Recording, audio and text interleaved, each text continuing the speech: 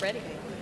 Do you solemnly swear to support the Constitution of the United States and the Constitution of the State of Minnesota, and to discharge faithfully your duties as a senator to the best of your judgment and ability, so help you God?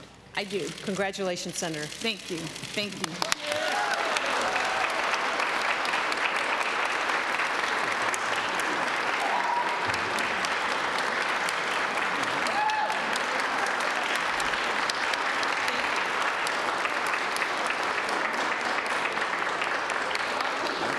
Member of the state senate pin for you. Thank you.